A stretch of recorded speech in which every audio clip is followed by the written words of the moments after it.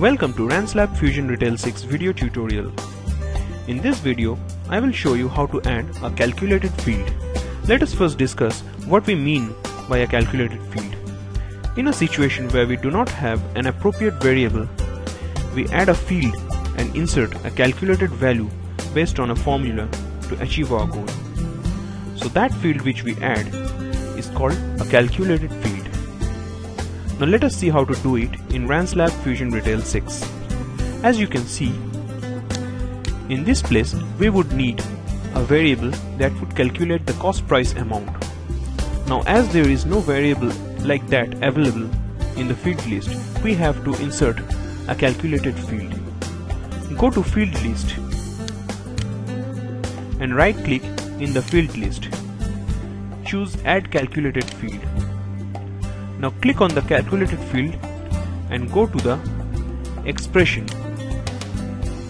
Click on the dotted box to open the expression editor. Now in the expression editor text box you have to insert the calculation. So go to field and select quantity from the list. Double click on quantity. Now click on the multiplication icon. Now click on purchase cost and double click on it and press OK. Now click on the calculated field 5 which we have added right now. Now drag and drop in the cost price amount. Now adjust its size and fonts. Change the fonts